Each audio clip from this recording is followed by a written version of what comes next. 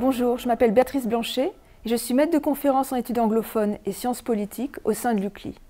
Je vais aborder une crise sanitaire, politique et langagière, discours et représentation du confinement pendant la pandémie SARS-CoV-2 en France et en Grande-Bretagne.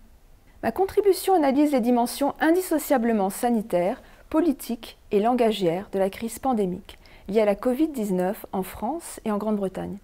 Cette pandémie a en effet généré des représentations complexes de la vulnérabilité, en lien avec l'appréhension des frontières mouvantes de l'intime et du social, du proche et du lointain. L'émergence du coronavirus SARS-CoV-2 met en évidence les enjeux géopolitiques et linguistiques qui découlent du choix d'une appellation officielle de la pandémie. Elle révèle également la charge symbolique des stratégies terminologiques portant sur l'impératif de confinement.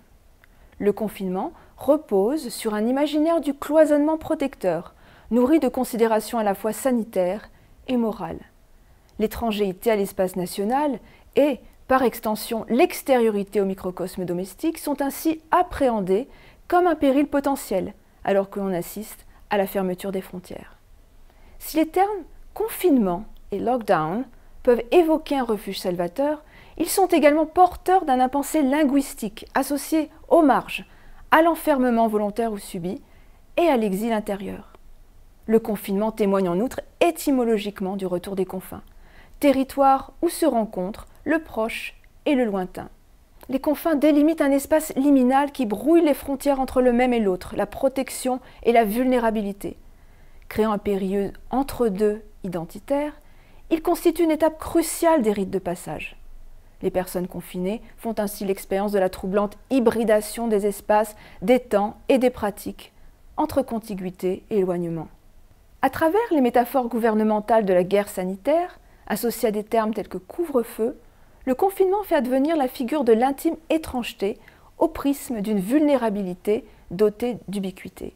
Il s'agit de lutter contre un ennemi invisible, à la fois intérieur et extérieur.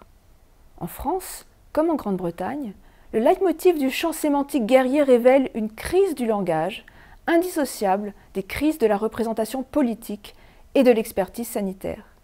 Les confins constituent, dans ce contexte, des lieux de transformation individuelle et collective, voire de contestation.